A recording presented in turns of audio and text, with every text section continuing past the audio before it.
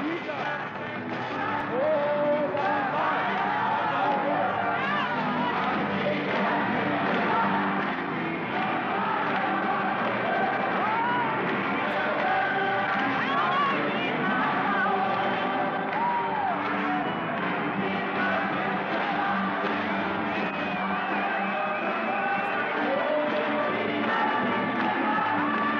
told me things that no human being in an ordinary state of consciousness could possibly know.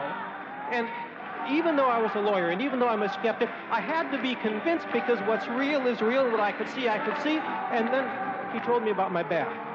And he told me about all the treatments I'd had and how they hadn't worked. And then he reached out his hand and he said, oh, he said, he said, in the name of Christ, you're healed. And my pain was gone. And now, a year and a half later, it's still gone. I praise God for that.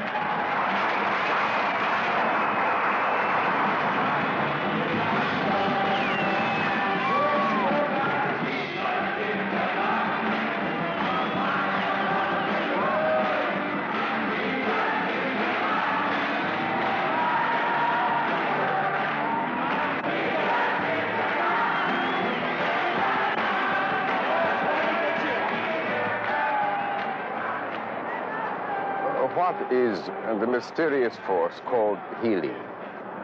Western science and medicine have traditionally looked for the answer in the laboratory.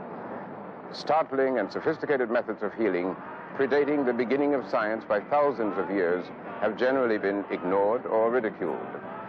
The scientific method demands controlled experimental conditions and results which can be measured and duplicated for verification.